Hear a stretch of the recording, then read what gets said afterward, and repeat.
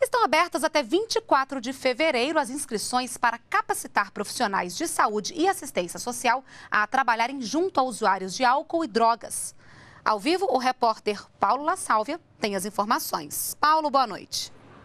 Boa noite, Renata. A novidade da edição deste ano do curso é a maior participação de assistentes sociais, que tem um papel fundamental na interação com os usuários de drogas. Quem tem mais detalhes é Sejana Passos, da Secretaria Nacional de Políticas sobre Drogas. Boa noite, Sejana. Então agora nós estamos na quinta edição do curso e ele está dando uma atenção especial aos assistentes sociais. Por que isso?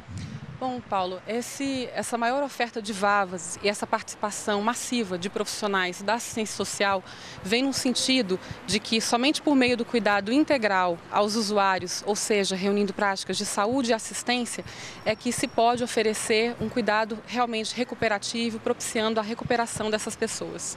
Como vai funcionar o curso?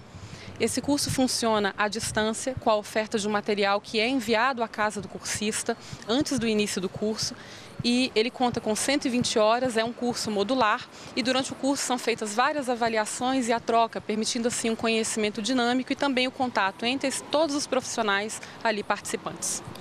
O curso faz parte das ações de enfrentamento do governo federal em relação ao crack, que é um problema de saúde pública.